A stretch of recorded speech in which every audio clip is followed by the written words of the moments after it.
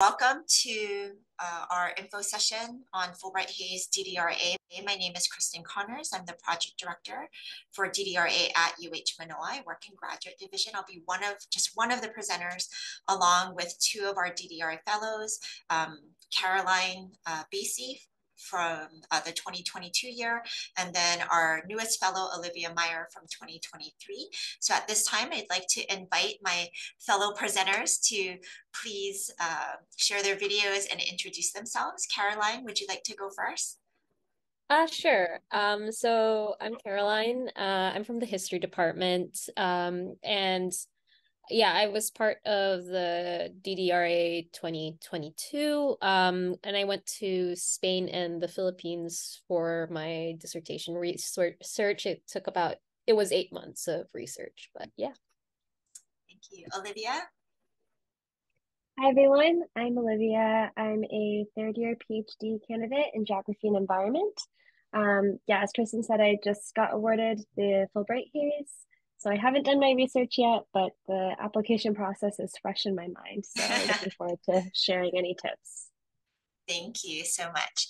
Um, and as you can see by the disclaimer on the screen, uh, the information that we are presenting today is based on past competition information because the FY24 information has not yet been released. If you want, you can check this URL that we've included here on this page for the Department of Education for any updates about the next DDRA competition. Um, so now because we are going to be discussing international research, I'd like to leave you with some thoughts to consider. Uh, you're, you could be going anywhere in the world. And so wherever your dissertation project takes you, I really encourage you to be mindful of place. And when I say place, I mean that to include history, people, land. Okay, so the, all of it, the full context. And as a visitor or guest or however you identify in relation to that place, please consider thinking about the full context of your positionality in relation to that place. Thank you for letting me share that. Okay, so the DDRA application is a pretty big undertaking. Uh, we have a lot of ground to cover today. I highly recommend that even after attending this webinar, that you please go back and watch the recording to make sure that you have a full understanding of the opportunity, the expectations, and the application process. This is the only information session we offer before the competition opens. And our main objective today is for you to walk away with an understanding of the main purpose of Fulbright Hays DDRA and understand um, how to apply as a UH Manoa doctoral student. Okay. Uh, we want to emphasize advice and tips on how to prepare for the application process and how to create a competitive application. At the end of the presentation, we'll save whatever time is left for Q&A. Again, we are recording this webinar today and we will email a link to everyone uh, once that is available. Okay, so let's go ahead and get started. So first of all, again, this is Fulbright Hays, DDRA. This is not the Fulbright US student program. Those are two completely different opportunities, even though they both hold the Fulbright name. Okay, so this opportunity is sponsored through the Department of Education, which means it has different a different mission and goal. It does not include an ambassadorship. You're not expected to have community engagement um, like the Fulbright US program. This, this is focused on research, specifically your dissertation research. There are two main components to this opportunity, which is you must be conducting your research in a foreign country, and you must be using a foreign language to conduct that research, okay? Um, so this is not about using English in your research in another country. This is not about teaching English. This is not about pursuing a graduate degree abroad. This is doctoral dissertation research utilizing a foreign language in a foreign country. You do not need to be at the point of ABD when you apply. Again, we'll go over that a little bit um, in the uh, uh, eligibility criteria. Um, but if you are awarded, you do need to be ABD by the time you start your fellowship. Okay, um, so speaking of eligibility requirements, this is not open to international students. I'm just going to make that very clear from the get-go, okay? Um, so if you are an international student and you're on this webinar, um, I'm sorry, this is not open to you. You're more than welcome to reach out to me and we can talk about some other opportunities that you can apply for. You must be a US citizen and a permanent resident okay um, fellowship is open to most fields again it's it's it focuses on area studies you should have the intention of going into professoriate or um, some kind of teaching plan um, after you graduate with your PhD. If you're not planning a career in teaching, you could still apply. There are ways to kind of get around that with the eligibility. So for example, maybe if your area of study is pertinent to US national security, um, the knowledge of the country um, or your study area is pertinent to various fields of government, international development, or certain professions, um, you may still be a, a, good candidate for DDRA. Okay. Um, however, again, just know that the intent is for those planning a career in teaching. If you've defaulted on any federal student loans, you're ineligible to apply. That is something that we have to check on. Um, and just in general, if you're unsure about the eligibility requirements, um, but you're interested in DDRA, just reach out to me directly. Let's have a conversation um, to make sure, uh, you know, whether or not this is the right opportunity for you. One of the things to note about DDRA is that there are priorities for this competition. There is an absolute priority and there are competitive preference priorities. So the absolute priority is that you have to be conducting research um, in one of these specified geographic areas. Now, let me let me just add a little caveat to that. So I know it says that, you know Africa, East Asia, Southeast Asia, right? You're, and you might be thinking, oh great, yeah, I, I'm going to do dissertation research in one of those regions. However, once the competition opens, there will be a document that is published called the Maintenance Allowance Table. And it will list every single country that they are funding research for. Okay. And if your country is listed, but it says closed, it means that you cannot apply for DDRA. So, for example, if you were to look at the maintenance allowance table for this past year, it lists China, but it says closed which means that if you're if you were planning to do research in China for fiscal year 23, you could not apply for DDRA. Okay, so just because your country falls into the region that might be listed, it doesn't mean that you may be able to apply. Okay, so you, you wanna make sure to check the maintenance allowance table. Um, the absolute priority means that you have to meet this requirement in order to apply. Okay. The competitive preference priorities you don't have to meet, but it is significantly towards your advantage because as we will say repetitively throughout this webinar, every single point counts. So you might say, oh, well, thematic focus on academic fields, that's only two points, who cares? Um, or focus on less commonly taught languages. Oh, well, I'm doing French uh, or I'm doing Spanish. That's okay, I can do without those two points. Actually, it can make a difference because these, those two points could mean the difference of you being selected as a principal candidate, meaning you get the award, or you being categorized as an alternate, or you not even being selected um, for, for either of those um, positions. Okay, so really every single point counts. Um, and then the last competitive preference priority is um, about minority serving institutions. So those are two automatic points that you will get as an applicant because we, UH Manoa, um, it, we are a minority serving institution. Okay. Okay, so if you are awarded um, just know that this is one of the best funding opportunities out there for you.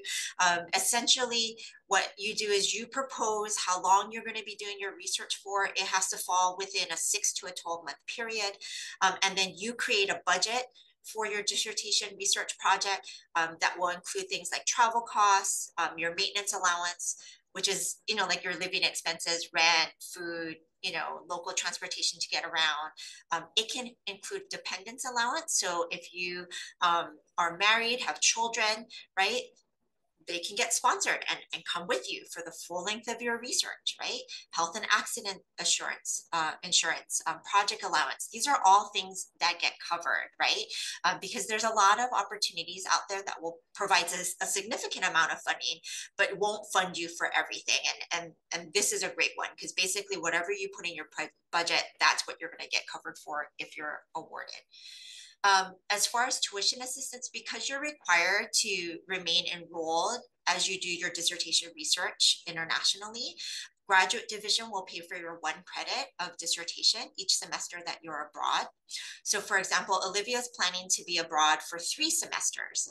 So we will cover dissertation, that one credit of dissertation for her for three semesters okay? You are still responsible for your student fees. That does not get covered um, by DDRA funding. So you do have to find funding for that or pay for that out of pocket, okay? Um, and while you are looking for other funding, just know that there are no duplicate funding, um, you know, permitted. So for example, if you get a scholarship, um, you know, or, or grant to pay for research expenses or for travel expenses, just know that you have to disclose that to DDRA and then DDRA will not fund you for those things because you, you can't have duplicate funding. Um, there, you can't also have duplicate federal funding. So if you are awarded Fulbright US and you're awarded Fulbright Hays DDRA, you're going to have to choose one or the other. You, you can't accept both um, unless there's no overlapping period for the research. Oh, last thing is that you cannot have a graduate assistantship while you are abroad. Okay, so that is not permitted. This is an overview of the timeline to anticipate again until the competition actually opens, we won't know the actual timeline, but based on the past couple of years, this is what it's looked like um, for the past two years. So if it goes in line um, with what we've seen in the past, this is what you can kind of expect, uh, which is that around February, we'll hear from the Department of Ed that the competition is open. I will send an email out to all doctoral students um, announcing what you need to do if you're interested in applying.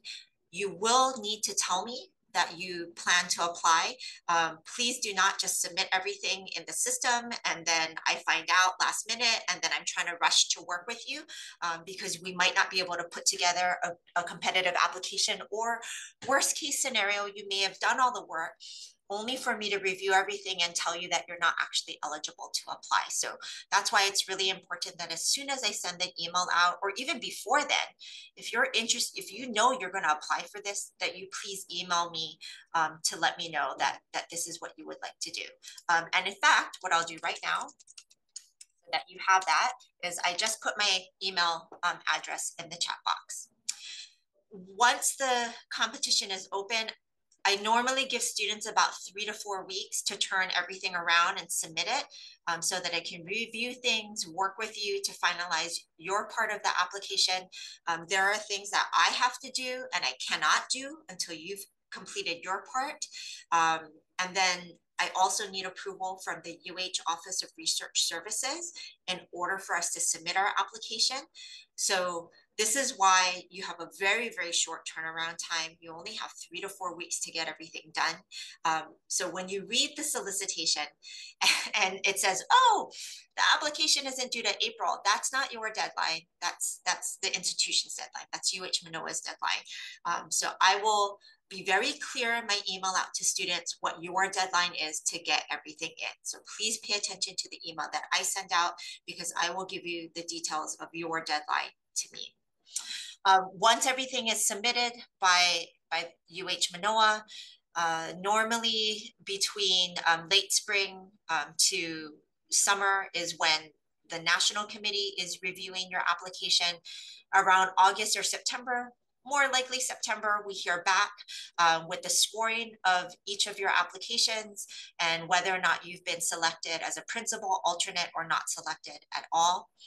Uh, we then have a short turnaround time to accept the award, and then we begin the orientation process and, and the planning for you to depart.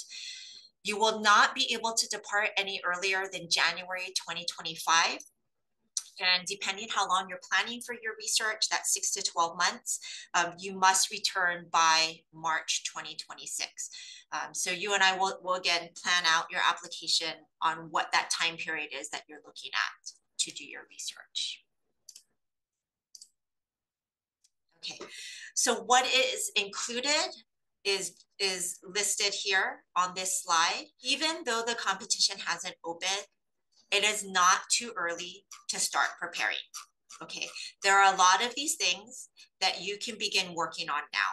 You already know what your research project is. You can be working on an abstract. Okay, and, and let me just warn you, it's 120 words. That's how short it is.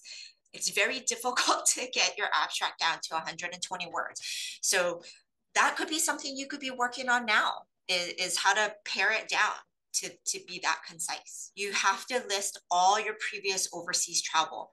Maybe your family took a trip when you were three years old. Maybe um, you were part of a military family and you hopped around from place to place every so many years. Maybe you did a study abroad as an undergrad. Um, maybe you just you did a mission trip, you know, for two weeks with your church. So start putting that list together. That's something you can work on now. Propose budget. Start thinking about what are the things that you need to include on your budget. How much do you think it's going to cost, right? How much is that airfare, that round trip airfare going to cost, right? How much do you need for certain supplies? Do you need to start um, reaching out to your doctor? We all know it can take months to get an appointment. You can start working on your CV. If there are things you haven't updated for a while, start working on that now. Um, the application narrative, which is generally the guidelines say it's a 10 page research project proposal. Um, you can start drafting that. You can look at what the guidelines were from last year um, and start working on that. Uh, you can also start putting together your two page bibliography. Um, host country supporting materials. Oh, this is so key.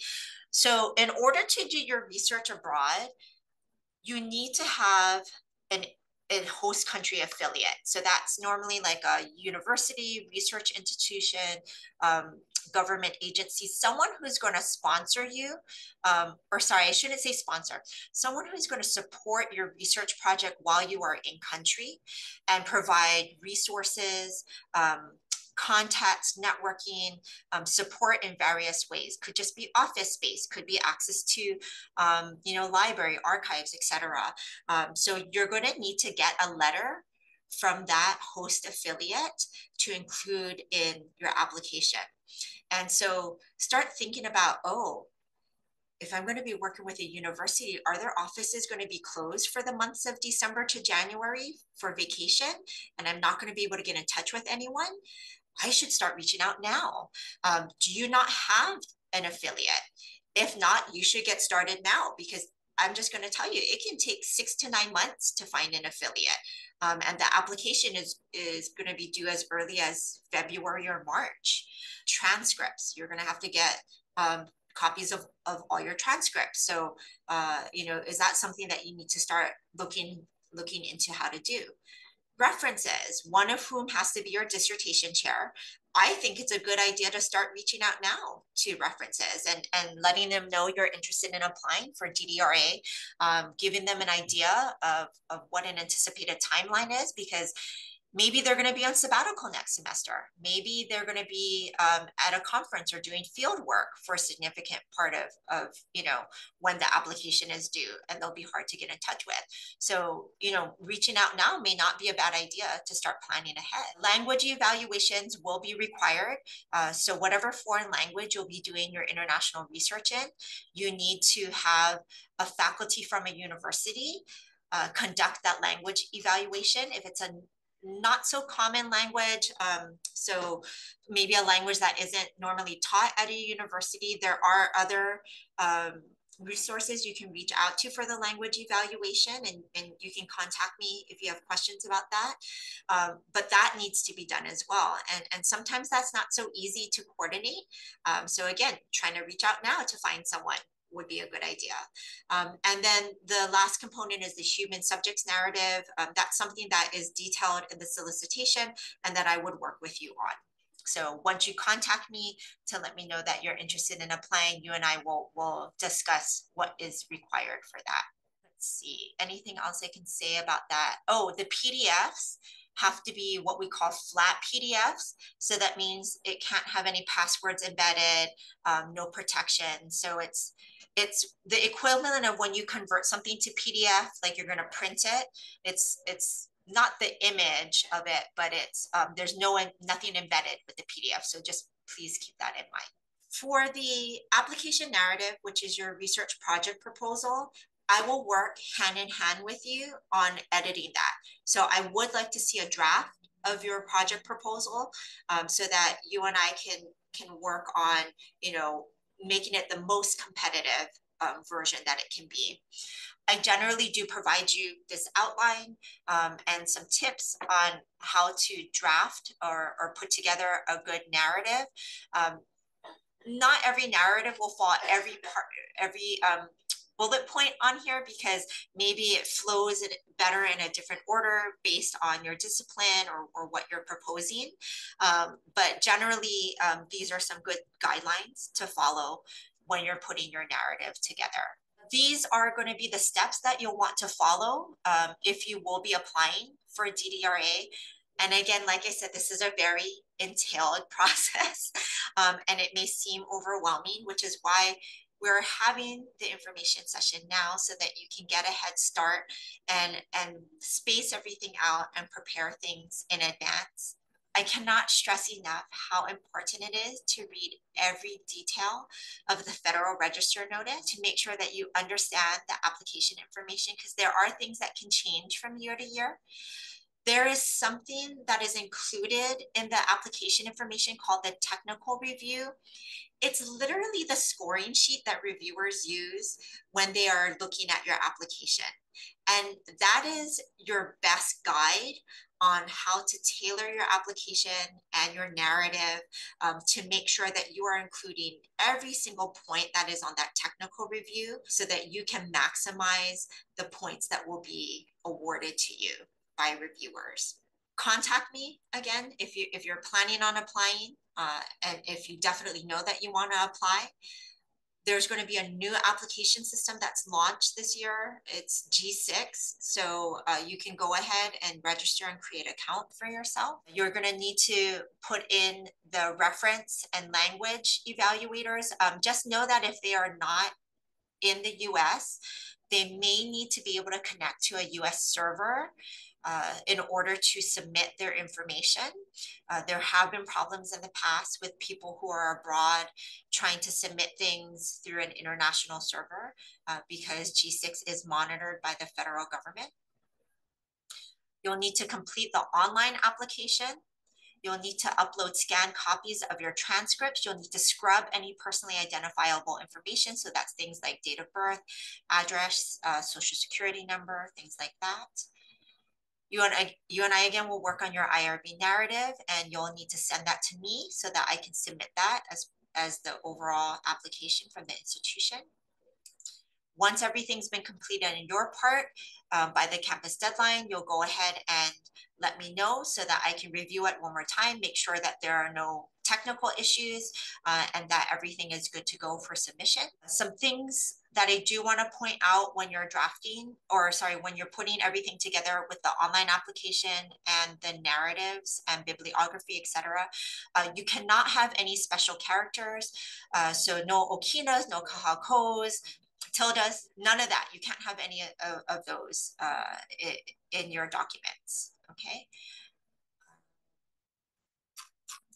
See anything. Oh, please back up and save all documents because the G and, and this is a tip we'll include later. Um, the the app the G6 application system, or at least G5 used to um, shut down a lot um, or have issues. So that was one of the fixes they were hoping uh, to work on with G6 hopefully um, you don't run into those problems, um, but do save um, copies of things um, in case there are issues with the system. Okay.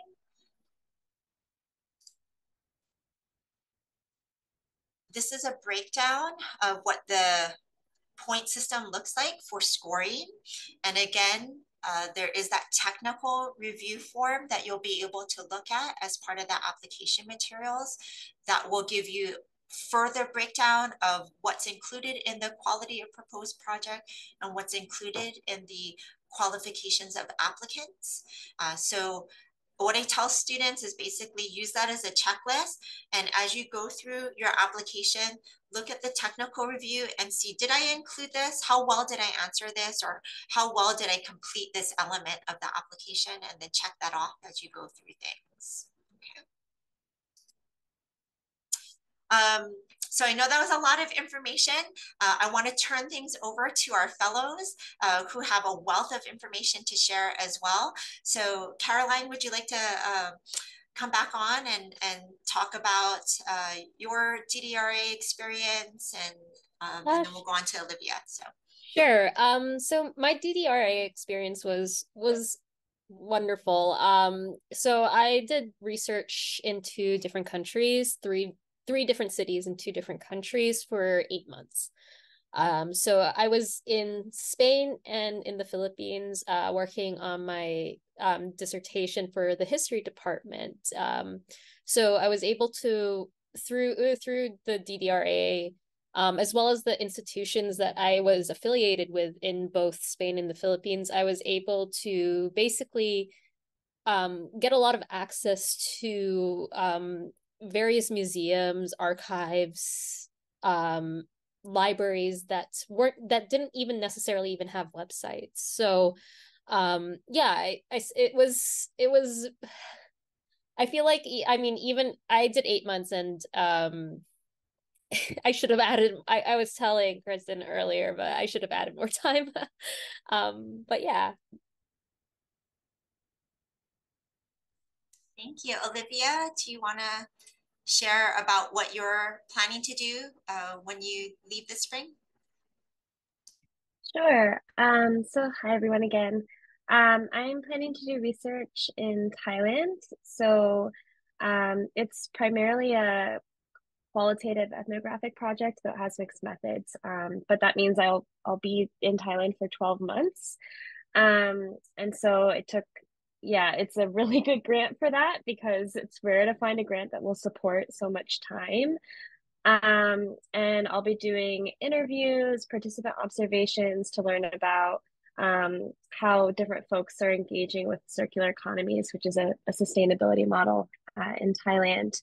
Um, so yeah, I haven't done it yet, um, but if you have research that sort of draws on qualitative work or is environmental, I'm happy to um, answer questions if they overlap at all. Um, yeah, and I think I think that's it.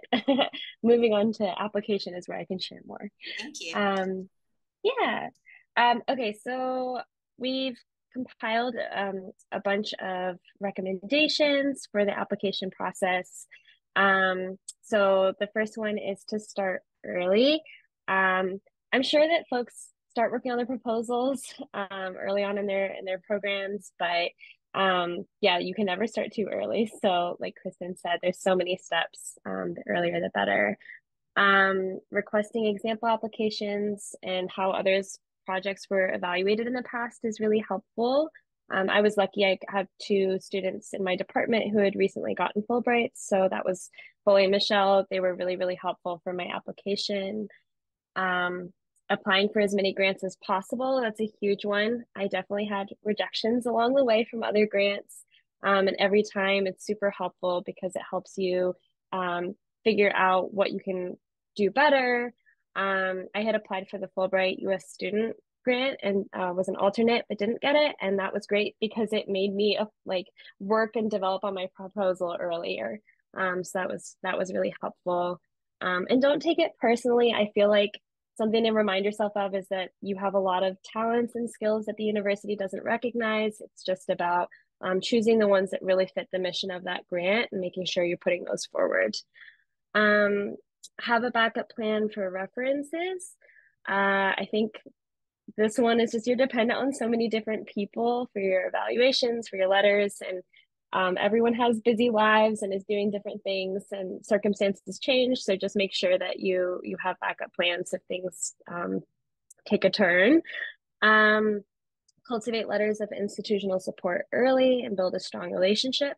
Um, I think this looks different for everyone. For me, I had two letters. One was from a faculty member that I had a pre-existing relationship with, and then one was um, from another faculty member that I developed a relationship with during pre-dissertation fieldwork. So that one's a bit newer. Um, but I, yeah, I think that a lot of folks would say that can take a long time as well. Um, so just the earlier, the better. Um, and then finally, provide tailored information to references so that they can highlight relevant experience in your letters. Um, so something I do whenever I ask my advisor for a letter of recommendation is give like bullet points of the aspects of my experience or CV that I think are um, most important to highlight uh, for that application, just because you're going to be more familiar with what that grant's looking for and all the rules and things more than your letter writers, most likely. Um, so it's just helpful to give them that as a starting point. Um, and Caroline, anything to add on this slide? Uh yeah. So um in terms of references, I, I also think that you should highlight the fact that um or ask your uh references to speak to the uh, speak to how you um your work embodies the work that has been undertaken previously if previously by the Fulbright Hays DDRA. Um so for me I that's what I asked um and I also spoke to one of uh my uh references who had he who also had the Fulbright Hays when he was doing his dissertation. Um, so he's so he was able to highlight um, how my research would uh, how my research fits into um, a lot of the like what the Fulbright Hays is uh, focusing on specifically in terms of the people that they are funding.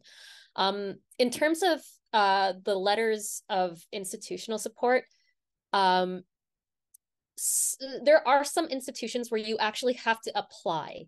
Um, so uh, Kristen and I actually went through this kind of cyclical process where uh, when I was applying to Ateneo for a institutional affiliation, uh, they were requiring proof of um, funding uh, so that they can give me a letter uh, stating that I have institutional support, but that institutional support letter is what I needed to get the funding. So it was this kind so you kind of have to explain to them as well what's going on. So i was able to get a conditional um acceptance uh and that's basically stated um from ateneo that i will get um my affiliation as soon as i have some kind of proof from fulbright hays that i have received the funding. So you have to also think about that about like um, issues with not just like uh, cultivating relationships, but some institutions are very, and you'll see this uh, um, a lot in Southeast Asia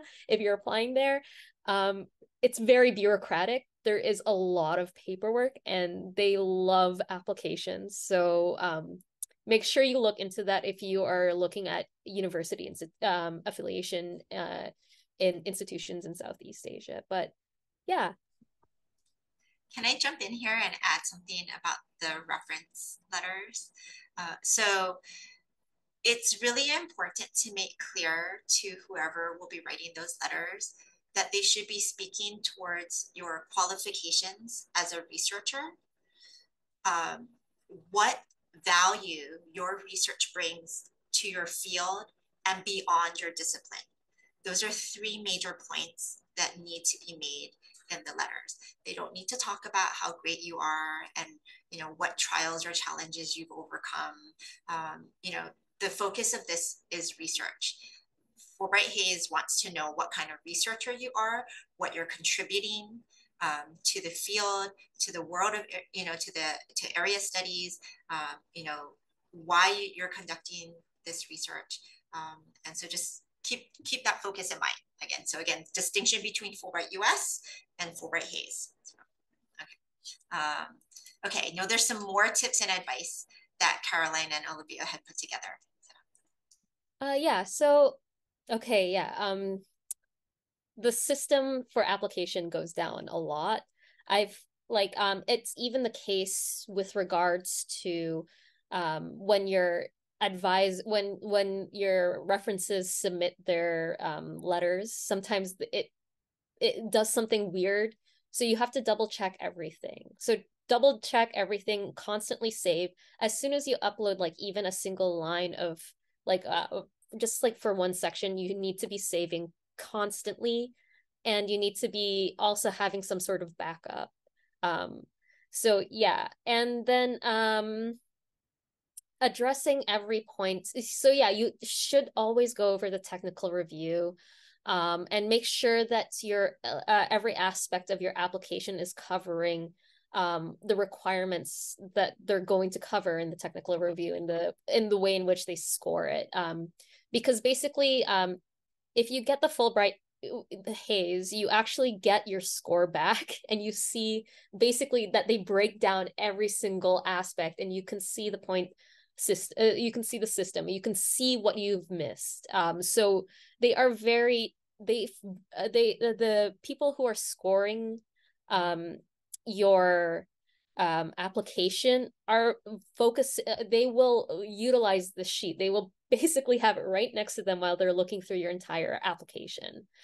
Um basically next point all uh, feedback is good feedback um, so I worked with uh, Kristen. I worked with my academic advi- I worked with my dissertation advisor. I also worked with friends outside of my department because it has to your application, especially your uh, proposal, your research proposal, has to be legible to someone who is not a specialist.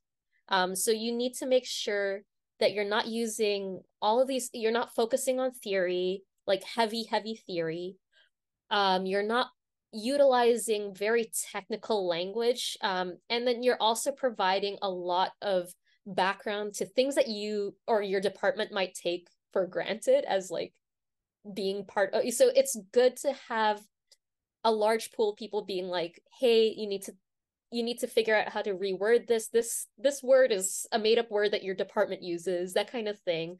Um so yeah just make sure that um, and it's like tied to this editing process this idea of look having multiple people go through your um, application and rewriting and editing based on their suggestions and also rethinking um, things. The next thing is highlight language and um, area uh, area studies basically your area experiences. Um, but so for that um mine's mine was a bit strange. Um i was lucky that i was you i was using tagalog as well as spanish because i probably wouldn't have gotten points if it was just spanish for um my um for my language aspect. Um one of the things that i noticed when i actually got back the technical review is that um the reviewers actually made note of my time overseas as a selling point to why I like why uh, like my ability to do research overseas. So that's so that's why uh Kristen was highlighting that you need to, you should start making a list of all of your international travel because of the fact that it actually they actually brought it up. So um highlight that, highlight also uh, I would I would argue that even in your uh proposal you should highlight um any kind of um research you've done. Um, another thing that you should highlight is basically if you should try to hopefully um, start putting out research articles. Um, that's another thing that they really highlighted is if you're already publishing or have attempted to start publishing. So it's not just publishing, but also you are attending conferences that are not just graduate conferences, but and conferences in like uh, different cities or different countries as well. So all of this can be pulled into um, basically any part. You can kind of utilize it throughout your application as well. Um, the next point, don't justify your research by filling a void. I mean, that's a very big trope. Stay away from anything that says void, basically. Um, highlight how your work is challenging um some like the standards that are set like for uh, for my for me i i i highlighted how um my research is kind of going beyond um what was already previously uh, discussed in relation to my research subject uh, my research topic.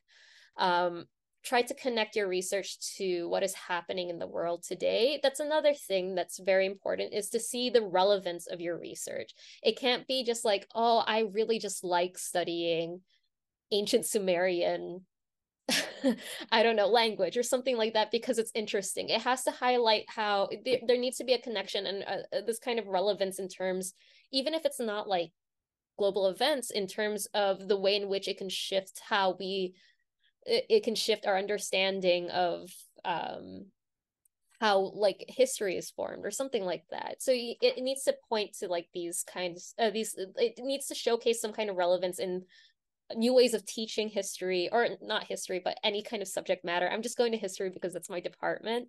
Um so just you need to highlight that. Um yeah so the next point was kind of related to what i was talking about with publications. Um always include them in your cv i mean this is for any application. It doesn't have to even just be for fulbright hays um you you you basically should have a running list of anything that you've published anything that you've been presenting on at research conference and so on and so forth on your cv um, and then uh, plan a way to contact your uh, recommenders in case of last minute. Yes. So um, as we probably all know it's very difficult sometimes to get a hold of your advisors um, so just make sure you let them know that there is this quick turnaround that happens once you start submitting your Fulbright Hays. And it would require a kind of quicker response from them when necessary in case something happens or in case something changes. Um, but yeah, and then again, ask a friend or colleagues outside of your department to review your proposal. This is so important because as I as I mentioned before, um, the people that are looking at your application are not specialists in what you're focusing on. So it needs to, it, you need to be speaking to an educated audience, but that's not a specialist in your field. Um, and yeah, uh, Olivia, do you have anything to add? I think that's most of it. I mean, that last point is huge. If you have the chance to trade grant applications with other grad students, either in your department or outside of it, because I'm sure everyone is applying for grants. Um, so you'll find others who are, and just sharing grant opportunities, reading each other's work is a really huge and important part of the process. Um, I know I always feel like guilty asking people to do things, but really it's reciprocal. It's something that you just, it's part of the practice of being a grad student. Um, so I really recommend that earlier you start getting in the practice of sharing, the better. Um, and yeah, I mean, Kristen was just really incredibly helpful, um, pointing out like, what is this jargon or bring forth this other aspect. That was um, such an amazing and helpful part of the process for me. Um, and then, yeah, working on the CV early is, is good. I think that I always try to update it every month so that it doesn't become this huge burden. So just working on it a little bit every time because you'll have to make changes for the Fulbright one. I know I had to add coursework, um, like methods training. I don't usually include on my CV. Um, so just getting it as up to date as possible ahead of time is great. Um, yeah, and that's it for me. I just want to emphasize some of the great points that uh, Caroline and Olivia made, which is um, so one with with the way to contact your recommenders and language evaluators last minute, it, ha- it has happened more than once where I'll look at things like, oh, this faculty forgot to include how many months they know you. So and so, I need you to go back and have the faculty redo the form or you know like oh they forgot to put you know this on here or this is missing or they didn't check these questions um so you know those things they, they come up right um and then the point about uh, getting, if you can get a hold of someone's application and actually even their technical review, I'm just going to tell you it's valuable whether they got it or not, because you can see it, even if they didn't get it, you can see what got picked apart and what things were missing. So you're like, oh, that didn't get emphasized. I need to I need to emphasize that. I need to include that. So you don't have to just reach out to people you know who applied and got it. Reach out to people you know who applied and didn't get it. So you know what didn't work and what you, you can work on as well. So um, just wanted to kind of add those. Um, but we, we have about 12 minutes left for questions and answers. Uh, so very happy to take any of those. Uh, I know that someone earlier was um, mentioning something about eligibility. Uh, so I do want to go over that. Uh, let me just go ahead and stop sharing my screen real quick. Okay, uh, so as far as eligibility, you don't have to be ABD when you apply. Uh, you just have to be ABD by the time you would start the fellowship. So we do have students who apply who haven't even done their um, proposal defense yet. Um, like maybe you're planning to do it by the end of spring. So you've already been working with your committee on, on putting things together and you're at that step. We also have students who they just finished their proposal defense. Um, so, you know, they'll be ABD by next semester, uh, you know, uh, or by, by summer or fall, whatnot. Um, so again, you don't have to be ABD at time of application just by the time that you would start the fellowship. Um, so someone's asking, what type of oversight or monitoring happens during the fellowship period? Are you expected ch to check in or report during your progress? Um, so this is actually a great question. Um, couple things. So as far as with me, uh, you and I just would stay in touch about monitoring the budget and expenses and just kind of check in with you. Just, I also just want to know how you're doing. um, it's my responsibility to make sure that things are going okay um, and that we're staying in touch and if anything's changed um, and to support you with that. You should be, of course, in contact with your host affiliate in country and working with them Okay. Um, and then as far as your dissertation committee uh, and your faculty advisor, you should have regular meetings set up to, um, you know, update them on how things are going and working things out. Um, but Caroline, maybe because you, you know, you're, you had boots on the ground um, for eight months, you can, maybe you can explain a little bit about how that went for you. Yeah. Um, so I, I was in contact with you for like pretty much every month, letting me like you were letting me know um when my funding was coming in. Um as, and then I was updating you about my project allowance and so on and so forth. So um during that process, you will be photographing for Kirst, uh, Kristen your receipts for your project allowance. So please, please, please keep all of your receipts for everything um on that process. Uh, in terms of uh, my dissertation committee, I would email my advisor uh, once every. It wasn't. It wasn't very strict. I would let her know if I'm having issues in a host a country or issues with an archive, that kind of thing. Um, that she can advise me on, just because she's also had has had experience, um, as well. Um, the institutions, your host institutions, though, there might be di- they might have different monitoring. So uh, for my time in Spain, I was required to meet. Uh, I, I I went to a couple of talks that was held by my host institution. Um, they met with me to see what they could do for me. Um, and yeah, and then uh, in the Philippines, uh, my host institution, um, they essentially helped me um, they needed like a list they wanted to know what archives or what museums and what institutions i needed to get to because they were the ones that were required to make the int- introductions. So they needed to get, kind of know where you were. In addition to that uh, for ateneo they have this requirement for me specifically that um, because i received um, affiliation with them i am required to speak like eight like six months after my leave date from the philippines uh i would i'm required to go back and actually or zoom call i'm not too sure um it, they said it's going to be, depend on where I am.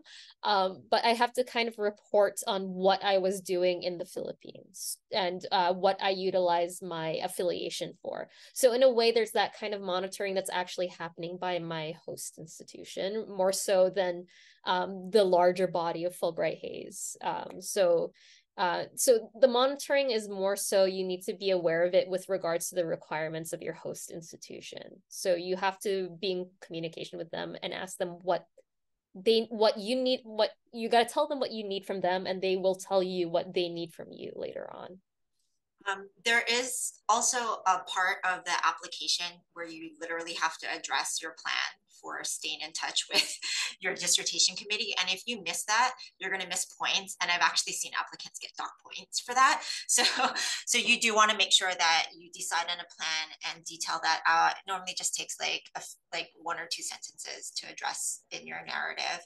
Um, the other thing which I I want to tack onto what Caroline said is, you know, DDRA is looking to fund well-prepared, qualified researchers. They're not looking for novice researchers. Um, so to the points that Olivia and Caroline made earlier, anything that you can include on your CV to show research experience, and again, what your um, you know, recommenders can include to speak to your qualified research like they've you know seen you work on this project they know what your experience is with this you're, you're extremely qualified with this type of method and you know whatnot um, those all will just bolster your application so. Other questions? And while we wait for any other questions with our remaining time um, olivia caroline are there any like just final tips you really want to leave um, prospective applicants with Um, well, I guess, I mean, it's also part of the application process because you're going to have to start thinking about it soon is um your the visa requirements because sometimes you might not meet the visa requirements to your research country. Um, I, I remember that was a question that actually emerged when uh, we had the Fulbright Hays Q uh, question and answer um, after people were accepting like they were some students were like oh i can't i i don't meet the research requirements for a visa. So you might have to be pretty uh, hyper aware of some of the visa requirements while you're applying for the fulbright hays because they do take a while as well. Olivia? Um i was trying to think if there's anything we didn't cover. I think maybe one would be um just thinking through the timeline because you you find out about Fulbright um like mid semester in the fall. So in terms of funding and your timeline and all of that, it's just good to plan ahead. I think in my head I was like, oh, if I don't get the Fulbright, I'll just head to fieldwork. But it's like, oh, you need to commit to maybe a GA ship in the semester. So just thinking through the timeline and what works for you and having backup plans is just a good practice to be in. Um, and then hopefully it all works out really well, like it did for us. So yeah, good luck, everyone. Yeah, so speaking to that, so again, just a reminder, the award period for the FY24 competition um, is anticipated to be for field work starting January 2025 and ending by March 2026 for a period of six to 12 months. So that's that's what you could anticipate. Okay, well, I don't see any other questions. So I just want to thank everyone for joining us today. Mahalo to Caroline and Olivia uh, for sharing about their experiences, uh, you know, fellows and applicants and, and Caroline for your time abroad. If you do have questions, again, please feel free um, to reach out to me and let me know if you are planning to apply. I just drop my email in the chat box again. Everyone enjoy your weekend and take care. This concludes our session.